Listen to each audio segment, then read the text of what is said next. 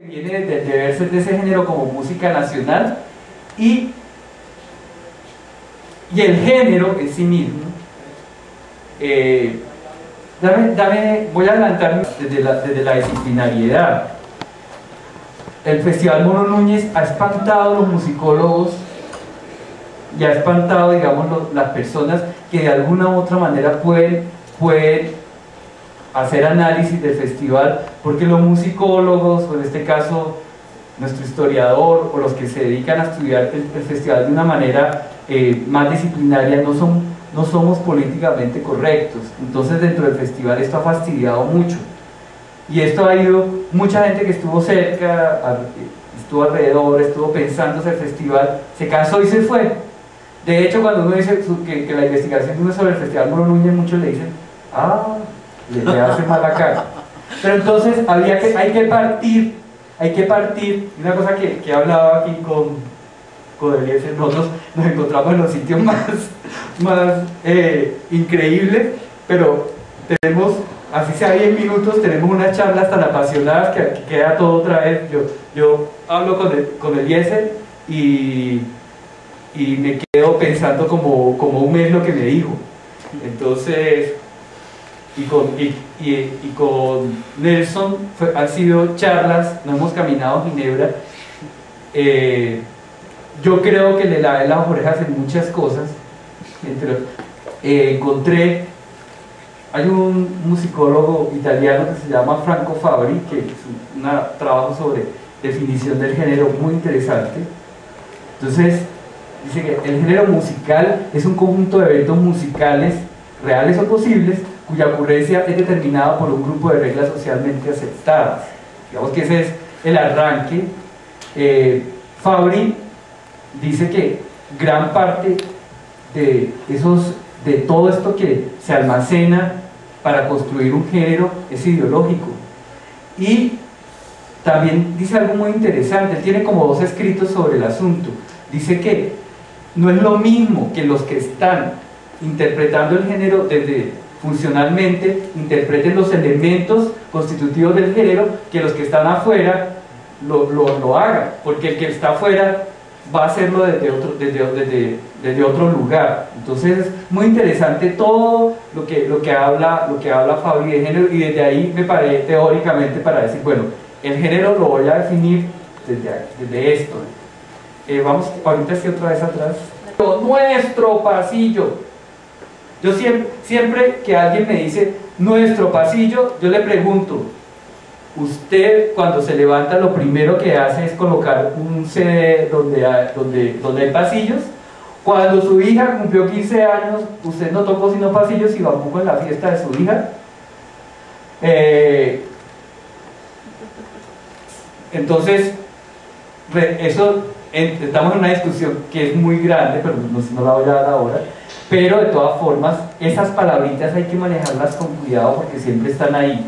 Tradición, nación, eh, identidad, autenticidad. Entonces eso es muy interesante tomarlo en los discursos.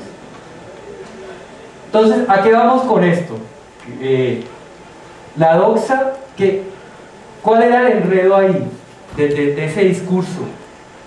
Si yo ya digo que ese discurso tiene muy poca acotación disciplinaria, y, y ahí entra lo, que pasa con los periodistas, lo que pasa con Gardner, por ejemplo, puntualmente. Gardner es un periodista que se ha preocupado mucho por el asunto, pero, pero él de acotación nada, él es género, y la definición de doxa es muy parecida porque ambos se nutren de la opinión. Entonces, eh, ya con esto, a mí parece importante, lo que bueno, repito, que estos trabajos, que estos trabajos se acoten siempre. Porque ya no podemos estar hablando del bambuco o del pasillo o de la guabina o de la carranga sin ponerle, y esto lo discutimos en el aeropuerto la última vez que nos vimos, sin, sin, sin ponerle datos, data. Es decir, yo no puedo hablar del bambuco en general sin decir dónde, cómo, quién, cuándo. Y, y, y- y- no puedo hablar de género sin definir qué es género. Porque es lo que, lo que ha pasado, la discusión no se ha nutrido muy bien porque, porque se cae en la doxa, o sea, se cae en la opinión. Y eso nos ha llevado a, a, crear imaginarios pues muy grandes acerca de los géneros y ese deber ser, que lo alimenta la prensa, que, que, que, que hay como toda una maquinaria para, para, que, eso se, para que eso se alimente. Eh, se empieza, se miren, esa mecánica de los festivales es tan vieja que cuando yo la encontré dije, yo sufriendo por esto ahora y eso, y eso viene. Resulta que este Ovi Rostrom dice en Suecia, cuando se inventaron los primeros festivales, empezaron a, a recoger a los campesinos que tocaban el fiddle, que, toca, que tenían ciertos tipos de canciones y ciertos tipos de poesía, y llegaban a esos espacios de los festivales. Y resulta que no casaban con lo que los que se habían inventado los festivales pensaban que, era, que debía ser esa música, porque ellos... Y entonces, ¿qué hicieron los campesinos los que tocaban estos instrumentos como el fiddle? Empezaron a componer como quería que se compusiera para los festivales. Ojo, y esa es una dinámica que, se ha repetido en el Mono Núñez, que se está repitiendo en el Petronio Álvarez y que se repite en todos esos festivales que han nacido de, esa, digamos, eh, modelo, de ese paradigma que ha creado el Festival Mono Núñez para todos los festivales de música andina en este país, o casi todos, que de alguna manera, para bien o para mal, ahí está.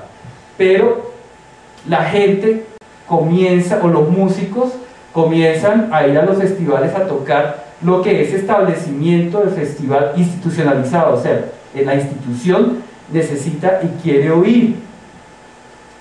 ¿Ya?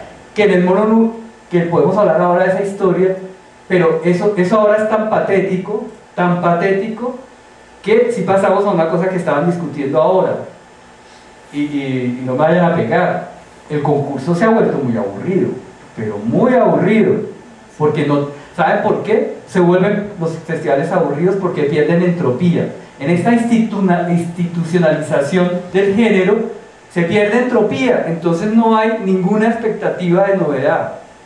Entonces, yo voy a poner un ejemplo que fue absolutamente triste, fue el último festival de Cotrafa, la transmisión, yo vi la transmisión en directo del festival de Cotrafa Qué espectáculo tan triste, tan aburrido, pues puede sonar subjetivo, pero es absolutamente aburrido.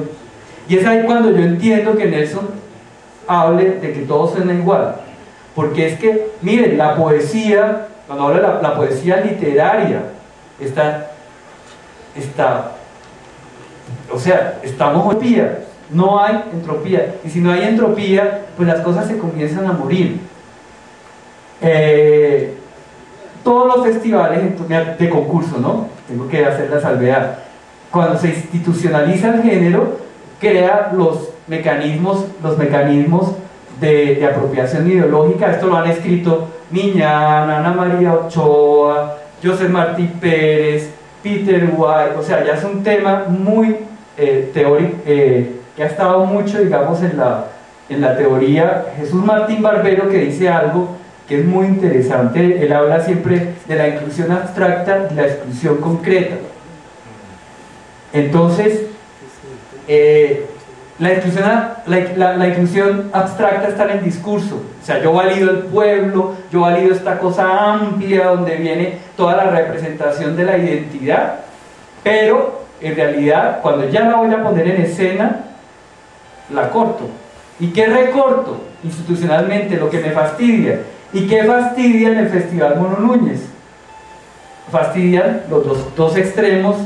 Ojo, el festival, la manera de calificar los, los participantes es academizante, pero el festival ha cortado dos extremos poco a poco y ya, yo creo que ya, lo, ya ni siquiera se molestan, en, eh, ya no produce vergüenza. Todo lo que es excesivamente académico queda por fuera del Festival Moro Núñez ¿Por qué? Porque es que yo no me puedo ir a tomar una botella de aguardiente oyendo novenas, onceavas, clusters, yo no puedo, eso, eso es muy, eso, yo con eso no puedo tomar aguardiente, con eso no puedo, o sea, qué, pereza irme a una, después del festival a una, ¿cómo se llama? Eh, Ahora sí, a una tenida a escuchar, a tocar a cuatro palos anomalía, o a tocar al cuarteto, o, escuchar al cuarteto de Sample tocando el preludio del cuerpo.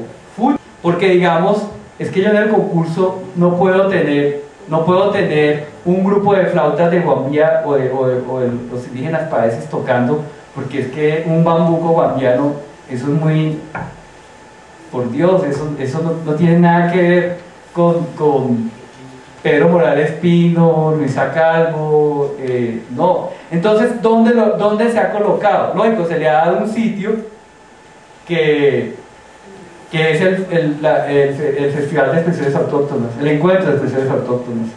Entonces allá va esto que eh, yo sé que Gustavo habla de nosotros, el último, estamos con un trabajo pendiente entre los dos sobre eso y nos tomamos, digamos, el tiempo para ir a escuchar a Álvaro Garner presentando el encuentro de expresiones autóctonas. ¿Qué hay que hacer? Eh, ya está muy establecido, si yo quiero ganar el Mono Núñez, cómo debo, qué debo tocar allá. Porque si me quiero, si me quiero ganar los 5 milloncitos, pues tengo que...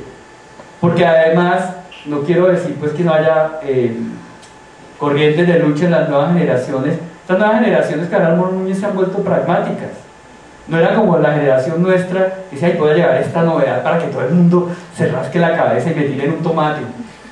Cuando yo fui al Mono Núñez era así, esta cosa tan rara, nos encontrábamos cuatro palos, Chucho Mosquera, eh, fue en Protus, ¿qué trajiste? ¿Qué trajiste? No, yo voy a traer esto para uy, chévere. Ahora uno, uno habla con estos muchachos y le dicen, y dicen, no arriesgan nada, no, yo, yo voy a sacar al Mono Núñez, yo voy y, voy de esta forma. Los que se han atrevido han salido, o que se les ha colado, porque hay mucho filtro, o sea, en esto del, manifiesto estético, ¿qué es lo que se hace? Pues filtrar, están todos los mecanismos para filtrar, para filtrar lo que va a llegar a ese escenario en este momento. No era, estamos hablando de más o menos desde el 98, 99, eh, que esto, que el festival no ha cambiado mucho, y, pero, eh, por la importante labor que hacen al preocuparse de estudiar y de investigar y de poner sobre la mesa esas cosas que nos preocupan tanto a todos los que estamos haciendo música andina colombiana y los que somos amantes y apasionados de este festival y muchos otros. Eh, bueno, primero también una precisión que quería hacer ya como desde lo musical y es cuando eh, hablaba usted de que la corporalidad en la música andina se ha visto limitada y que eso vendría a ser como un reflejo de la adopción de la música europea. Yo creo que allí habría que revisar algo porque que es más corpóreo o corporal que la ópera, ¿cierto? Si allí el medio de expresión a la vez de la voz es totalmente el cuerpo. Entonces yo creo que eso habría de pronto que revisar. Conceptual es, es un equívoco que tiene que ver con el estatus, el estatuto de la música andina en general. Es decir, pretender que una música que es de la tradición de Morales Pino, o sea, directamente es hija de esa tradición, que es una música urbana, una música netamente urbana y con pretensiones de ser una música artística. Se arrope de un discurso de música campesina y música tradicional. O sea, el gran equívoco es ese. Ahora, ¿qué ha pasado con los 30 años del Mono Núñez? Pues a mí me parece que una de las cosas positivas increíbles del Mono Núñez es que la creatividad de los músicos de todas maneras se pone de manifiesto creando lo que yo considero en este momento es una de las músicas más importantes porque es la música clásica colombiana. ¿Qué quiero decir? Que lo que pasa es que el Mono Núñez, por tener un discurso folclorista con, con unas sonoridades que pretenden otra cosa, lo que fue generando es una generación de músicos